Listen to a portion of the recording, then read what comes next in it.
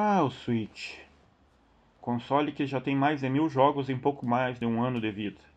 Bastante coisa boa, mas também tem cada lixo. Meu Deus do céu, esse aqui é uma bomba. MXGP3. Para mim foi uma decepção, porque eu adoro jogo de corrida, eu gosto muito de jogos de motocross, joguei muito MX, os jogos da série MX no PlayStation 2, PlayStation 3, Xbox 360, e todos, sem exceção, eram bons. Não lembro do MX ser ruim, a não ser uma versão para Wii que eu não gostei. Esse daqui, infelizmente, segue o mesmo caminho. O jogo é nojento. Parece que faltou polimento, faltou mais tempo de dedicação da, da equipe de desenvolvimento para ele, porque o gráfico é horrível. No vídeo nem dá para ver o quanto ele é ruim na jogando ele.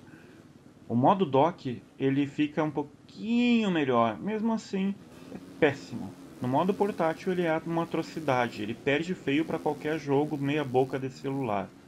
Isso é uma vergonha para um console como o Switch, que merecia um jogo melhor da série MX.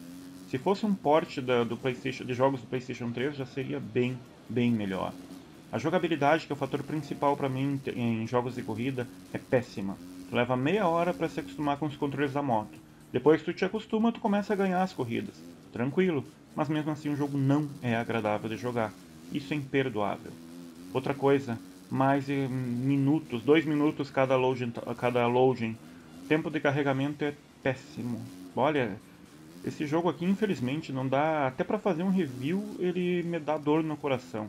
Então ele tem uma coisa boa que é o que eu vou mostrar agora para vocês, que é essa, é tu enquanto estiver jogando, tu tem a opção de parar de jogar, ir para a tela inicial, apertar o home no Switch e trocar de jogo.